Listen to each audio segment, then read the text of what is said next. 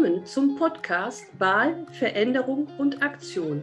Hier kannst du wählen, verändern und handeln, um ein anderes Heute und eine andere Zukunft zu kreieren. Das sind meine Geschichten über Wahlen, Veränderungen und Aktionen zusammen mit den phänomenalen Gästen, die ich hier empfangen darf.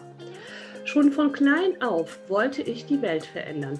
Der Planet war für mich eine ständige Inspiration. Access Consciousness hat mir die Werkzeuge gezeigt, mit denen ich weiß, dass alles möglich ist und ich wähle weiter. Was wirst du wählen? Das ist, Ladies and Gentlemen, wir sind live. Herzlich willkommen, Simone Bilsesse. Ich bin euer Host.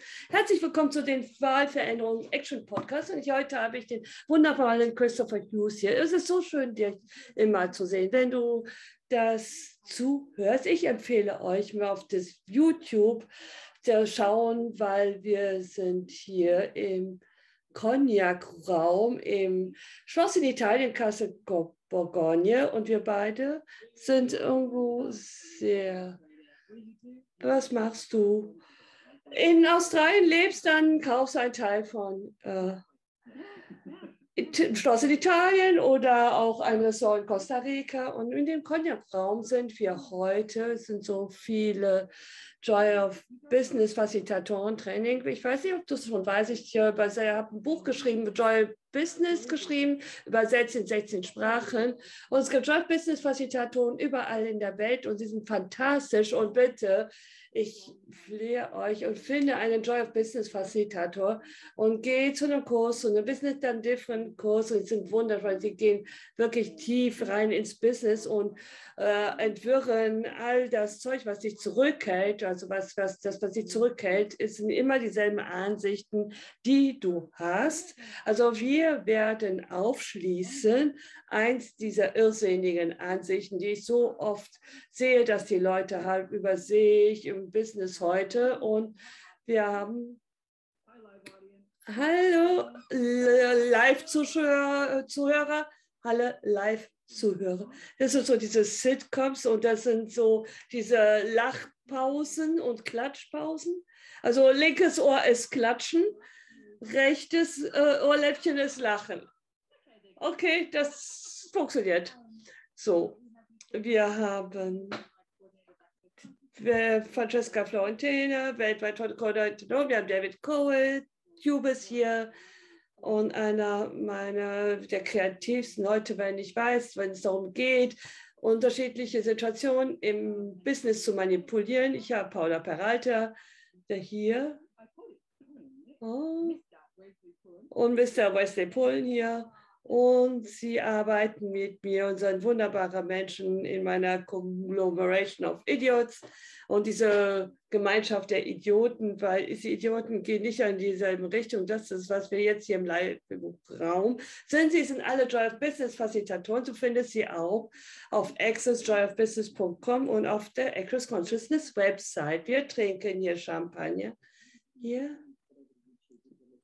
Okay, also bloß, geh bloß nicht zu YouTube, wenn du nur zuhörst. Cheers. Okay, wir müssen gerade mal trinken. Hm. Also ganz oft in Australien und eins der Dinge, wenn du Cheers machst und du nicht trinkst, wenn du prostest, dann sagst du mir, okay, nur, nur äh, einsame Leute trinken alleine, okay. Wenn ich Cheers und die wenn du in die Augen schaust und du denkst, du hast keinen Sex beim Zuprosten. Okay, lass uns das nochmal. Lass uns bloß in die Augen gucken. Ich, also wirklich tiefer Augenkontakt, tiefer bedeutungsvoller Augenkontakt. Also, okay, wir sind nicht alleine, wir haben großartigen Sex. Okay, Ladies und Gentlemen, okay, zurück. Podcast ist vorbei. Und das, vielleicht haben die Leute hier ein paar Fragen. Also Christopher, wo du darüber gesprochen hast, über überwältigen. Wie viele von euch im Business haben entschieden, dass du überwältigt bist oder tatsächlich, ich will nicht sagen im Business, sondern im Leben? Wie viel oft wachst du auf und hast die Energie von ich bin überwältigt? Und irgendwie der Topf ist voll, was machst du damit? Und wie kannst du anders damit sein? Kannst du ein bisschen darüber sprechen? Du hast darüber gesprochen, wie ich dich inspiriert habe und Gary Douglas. Und ich weiß, wie du das so eröffnet hast. Das wirklich ein paar Geschichten, die ich zu diesem Thema besprechen kann. So. Ein paar, vor ein paar Monaten sprach ich mit Projekten, anderen Business, weil wir beide Teilhaber sind. Kannst, ich, kannst du hier deine Energie zu beitragen? Und sie sagte, ich weiß nicht, mein Topf ist voll. Und in dem Moment, wo du das gesagt hast, sagte, nein, warte. Okay, mein, mein Topf wird einfach größer. Ist so leichter zu sagen, okay, warte mal, ich gehe nicht in das Überwältigende, auch wirklich die Anzeichen, dass man sagen möchte, in die Rechtfertigung zu gehen, dass man überwältigt ist. Du hast das nicht gemacht. Und darüber möchte ich heute Morgen sprechen im Joy of Business Facilitator Training und ich habe da einfach einen Bereich davon präsentiert, den Verkauf und Marketing. Und das ist als Facilitator, liebe ich darüber zu sprechen. Und mit Hilfe mit dir und Gary Douglas, der Gründer von Access Consciousness. Und egal wie du weitermachst, egal wie beschäftigt du bist, du bist immer verfügbar für alle. Und du sagst niemals, du bist zu beschäftigt und du wirst auch noch immer mehr zu deinem Leben und deinem Business hinzufüge, neue Projekte, neue Unternehmen, egal wie es ausschaut. Und für mich ist es so inspirierend und für ist der Muskel, nach dem ich frage, den mehr zu entwickeln und aufzubauen. Und manchmal bin ich so schon, schon recht gut. Gibt es die Orte, wo ich, wenn ich anfange zu diesem Unternehmen reinbaue, das ist auch meine Haupteinkommensströme würde darunter leiden. Aber ich weiß, dass es eine andere Möglichkeit ist und ich weiß, dass es wahr ist. Also ein paar Dinge, die ich da hinzufügen möchte, weil du da gesprochen hast, weil interessiert war, war was hochkam. Ich kann mich erinnern an den Tag, als du gesagt hast, ich kann es mir helfen und ich sagte, mein Topf ist voll. Okay, lass uns einfach einen größeren Topf nehmen, lass uns eine größere Welt machen. Also okay, es ist immer noch dieselbe Menge an Zeug, aber ich kreiere einfach diesen größeren Raum, wo aus dem heraus ich handeln kann. Aber ich möchte noch ein äh, Ding hinzufügen für, ich fragte dich nicht etwas zu tun. Ich wollte dich an, kannst du deine Energie und diese energetisch diese Projekte nähren, einfach dich bitten, präsenter damit zu sein. Ich hatte nicht gefragt, dich, die Leute anzurufen, da irgendetwas zu tun. Und das ist wirklich ein großes Ding, nicht reinzugehen in das Tun, was du tun musst, Oh, so viel Zeug, worüber wir sprechen können jetzt. Oh, so überwältigend. Aber eins der Dinge, worüber ich jetzt sprechen möchte, du hast es gerade erwähnt, über diese verschiedenen Projekte. Ich muss etwas zugeben. Ich fand es leichter, Projekte und Business hinzufügen, als ich neue Business und neue Projekte hinzufügen, ist das, das Stück, oh, die Leute sind so ein bisschen. Was meinst du damit? Leute, und das Zeug, was die wählen und wie sie Dinge bedeutsam machen und wie die über die ganze Zeit über Scheiße reden und die müssen teilen und so. Und ich hatte mal gesagt, wie viele Business meiner Welt könnte ich jetzt damit, lass uns das machen.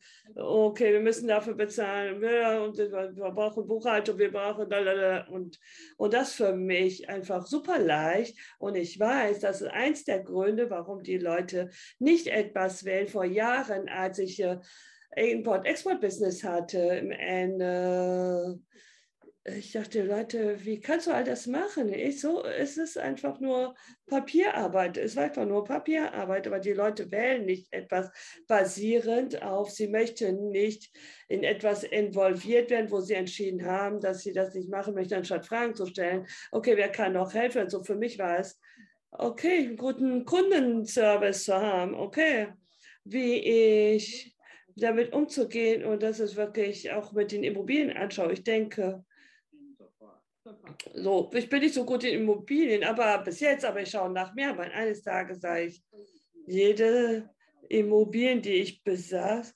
irgendwas war da zu tun in dem Haus. Oder da war Schimmel und das war, war was zerbrechen oder die hatte Fluten und dann so weiter. Und ich so, okay, der kann all das machen und jedes Haus, was ich habe, ich habe jemanden, den ich eingestellt habe, der das managt, weil es da ausschaut und ich das ganz oft, wo die Leute nicht etwas wählen möchten, weil sie denken, dass es zu viel Arbeit ist und dann wählen sie es nicht und andere einzustellen, um zu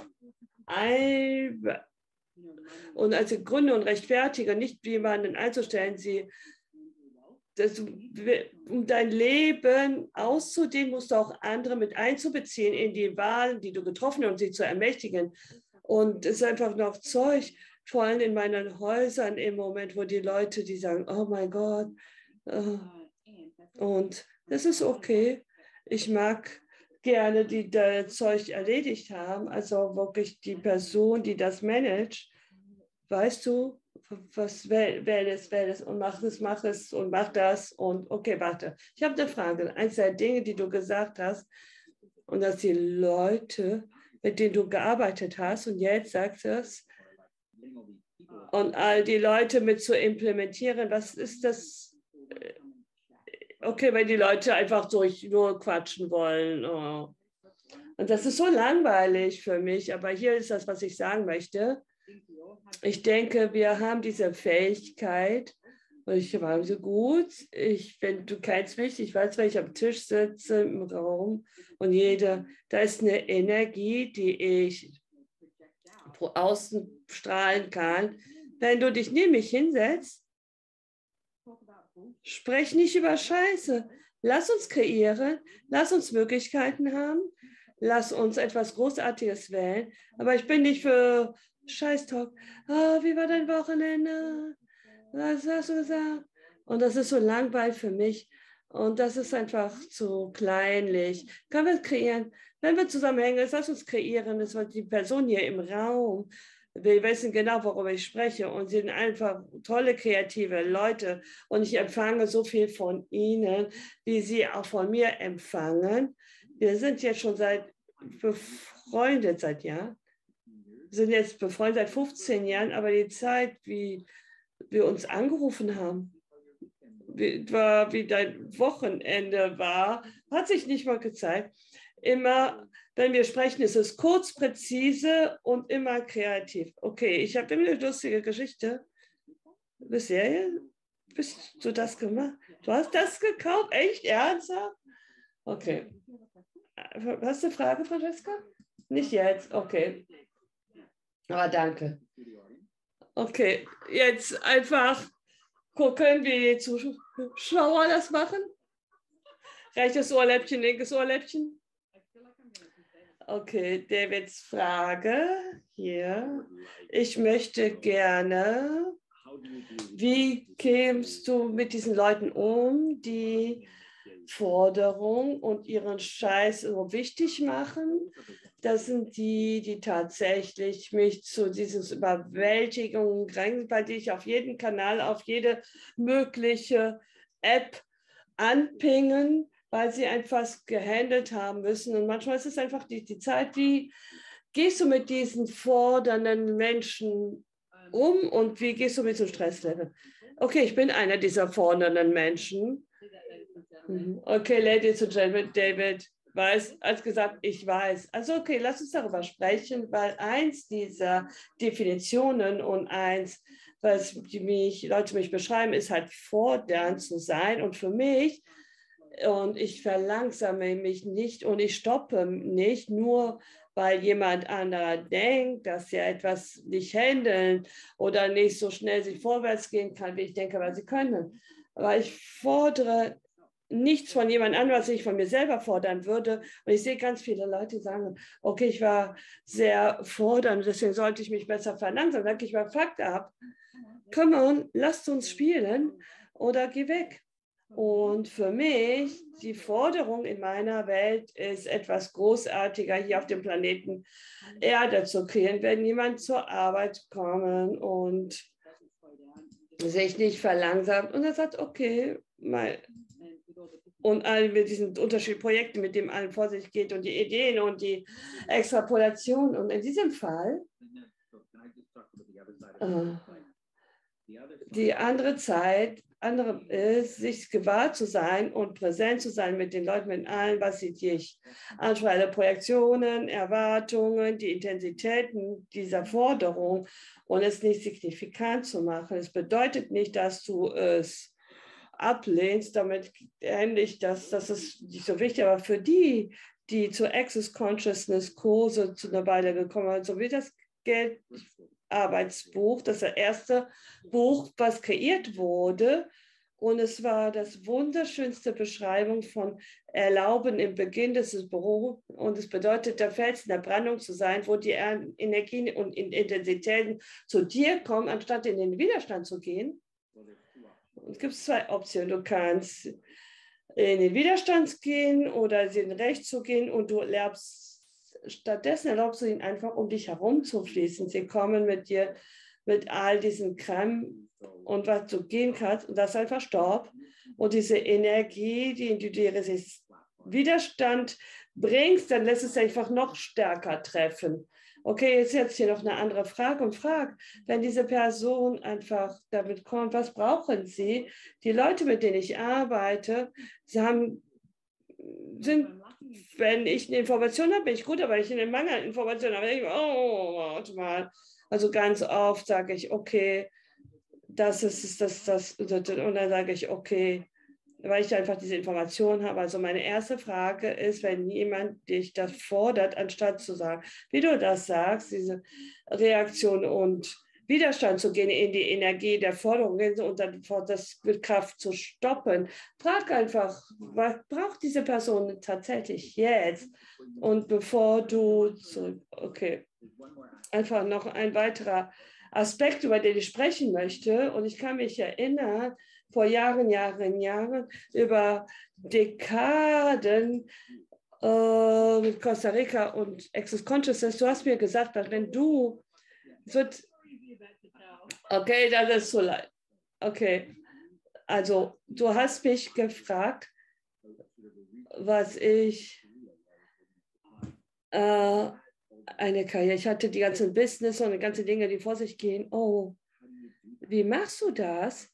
Wie hast du all diese unterschiedlichen Dinge, die vor sich gehen und ist das nicht zu, wird das nicht, nicht deine anderen Jobs und Business limitieren, wenn du dich das zu weit auseinandersplittest? Und was Simon mir gezeigt hatte, nein, Du kannst sein und haben alles das, alles, was du brauchst, ist einfach deine Energie in all diesen Dingen gleichzeitig zu haben.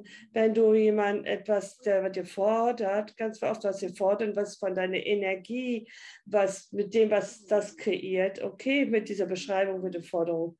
Und er sagte, boom, Forderung. Ich sagte, okay, ich liebe es, dass du so fordernd bist. So was, da, du fordernd zu sein, hat mir so viel beigebracht. Du bist eine unglaublich fordernde Person.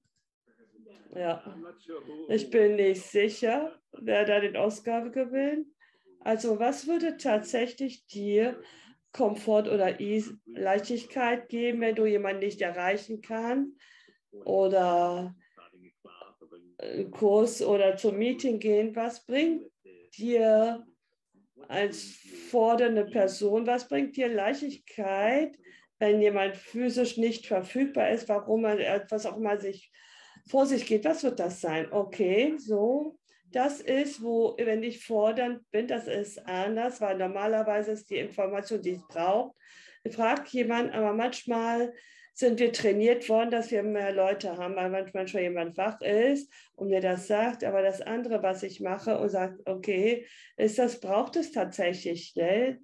Und das ist eine Entspannung in meiner Forderung. Das sind so viele Dinge, die ich jetzt mit arbeite und so viel meine Aufmerksamkeit, meine Frage stelle, eine Frage, die ich jetzt täglich stelle und über jeden Tag stelle, wo braucht es meine Energie jetzt? Und das ist, wonach ich frage, und ich gebe das auch diese fordernde Person, da ich nicht richtig oder falsch mache, an irgendeinem Punkt sagte ich zu Gary, Gary Douglas, der Gründer von Access Content, ich habe einfach die ganzen Pläne beschrieben und sehr fordernd und sagte, Sie haben mir immer das so beigebracht, dass es braucht immer alles zum selben Tag getan werden. Die Forderung, nein, es ist nicht fordern sie stoppen einfach nicht. Und ich denke, das ist so eine gute Beschreibung, wie ich bin, weil jemand wieder das sagte und wo es noch meine Energie braucht. Also da muss einfach diese Entspannung sein, nicht weil du fordernd bist, dass du etwas erzwingst und wirklich das Schlimmste, was du machen kannst, ist jemand falsch zu machen. Es geht nicht darum, jemanden falsch zu machen, überhaupt nicht. Und ich tue mein Bestes, um nicht zu versuchen, diese Energien, wenn jemand in die Falschheit davon geht und sagt, ja, die Information, können wir uns das anschauen, können wir das verändern und ob das, weißt du, die Leute einfach zu ermächtigen auf die andere Seite, du, also man dich als solches labelt und die Leute nicht falsch zu machen.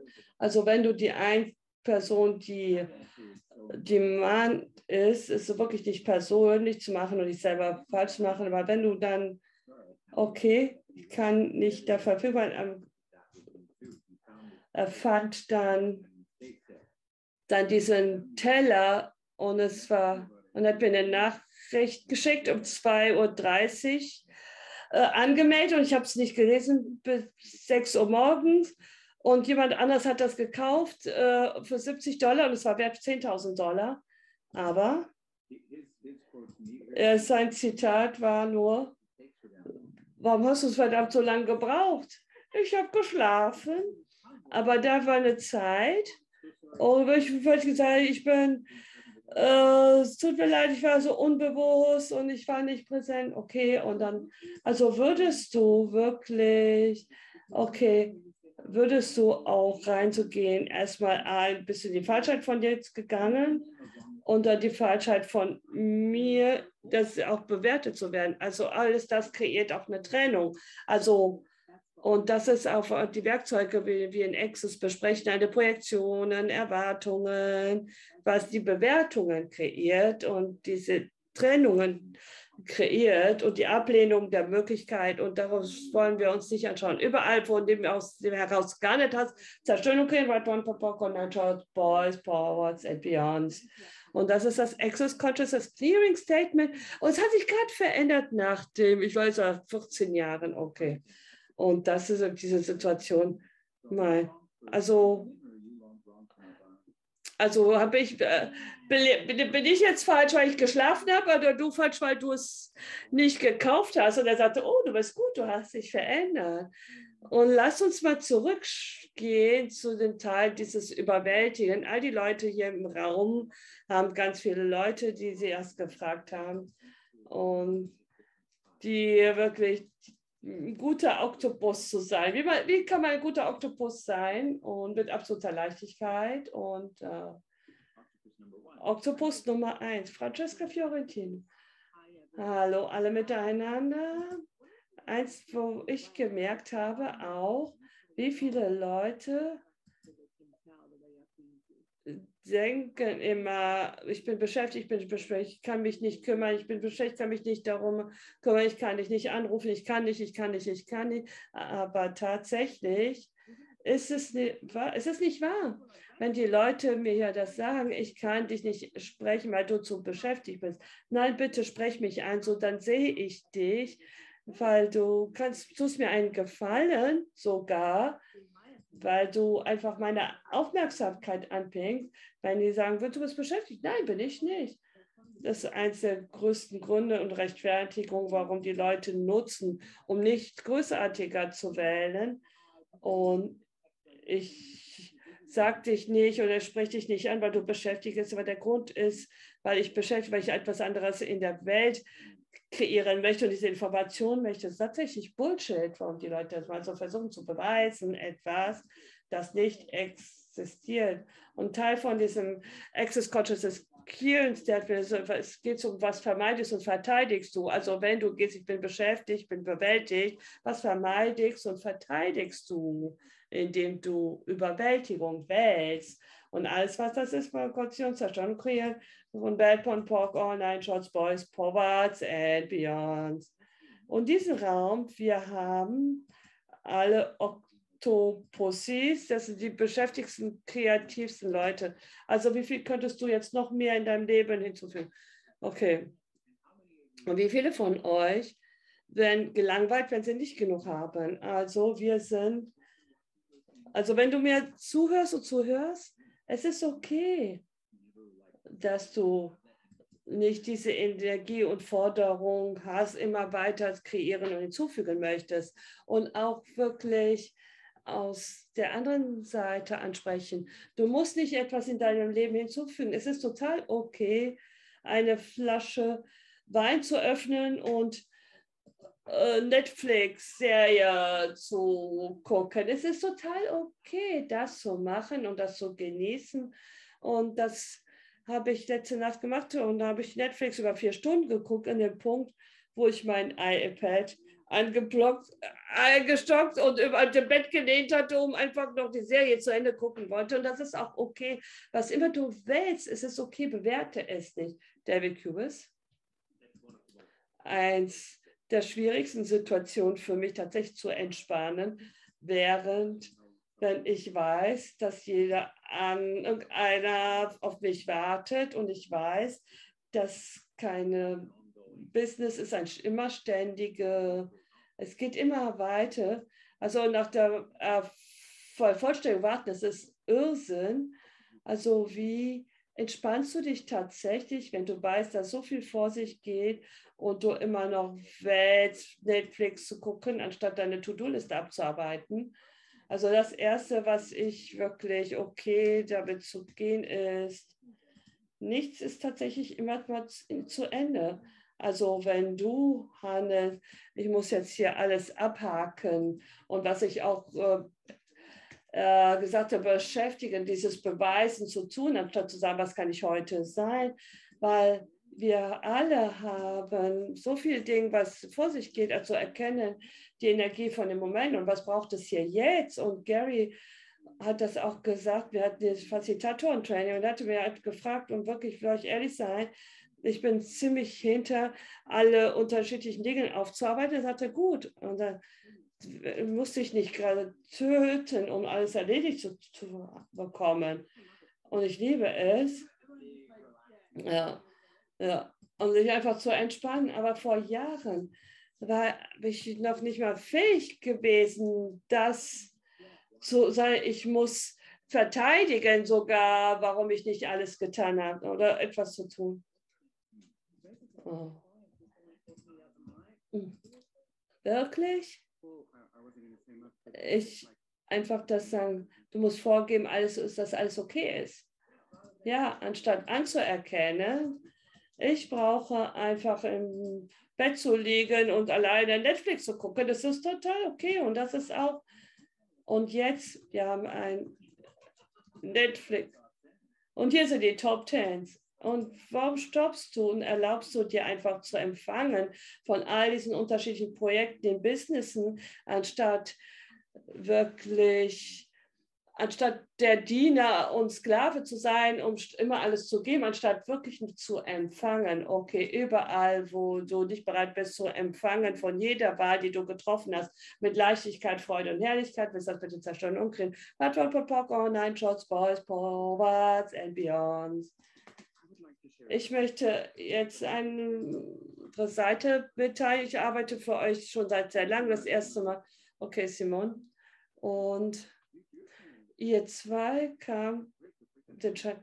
Wo ist das und das und das? Ich bin dann in die Bewältigung gegangen. Ich habe Stopp. Ich muss all diese Dinge jetzt machen. Und dann habe ich gelernt, dass du einfach nur diese Information wollte. Und das war einfach so einfach, wie es war.